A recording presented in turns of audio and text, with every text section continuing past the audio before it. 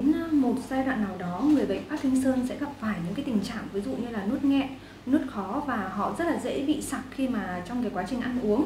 À, giáo sư có thể giải thích rõ hơn vì sao lại như vậy và xin giáo sư tư vấn thêm cho người bệnh trong những cái trường hợp này ạ.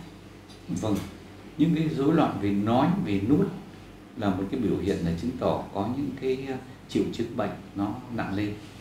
Thì có những cái giai đoạn đầu của bệnh Parkinson trong 3 4 năm đầu thì chưa có những biểu hiện này và những người mà ừ, tuổi chưa cao thì chưa mắc những cái đó.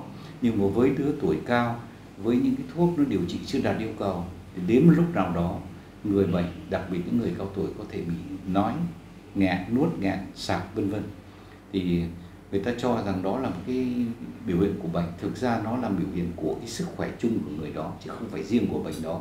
Vì nhiều người già nói cũng bị nghẹn nuốt, bị sạc chứ không phải riêng những người bệnh đó. Nhưng ở những người mắc cái bệnh đó, phần lớn là những người lớn tuổi thì có kèm những biểu hiện đó. Thì đây không phải là biểu hiện của bệnh, mà biểu hiện của cái cơ thể người bệnh. Nó đến cái giai đoạn nó kém. Thành ra là các cái bắp thịt, người ta không chủ động được nuốt nói là phải điều hành các cái cơ bắp ở cổ họng, ở ngực.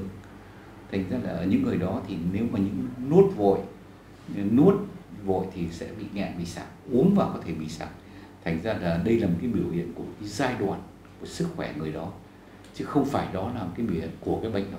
Đây là giai đoạn của cái người bệnh nhất định. Đến một lúc nào đó thì nó có những cái biểu hiện đó kèm.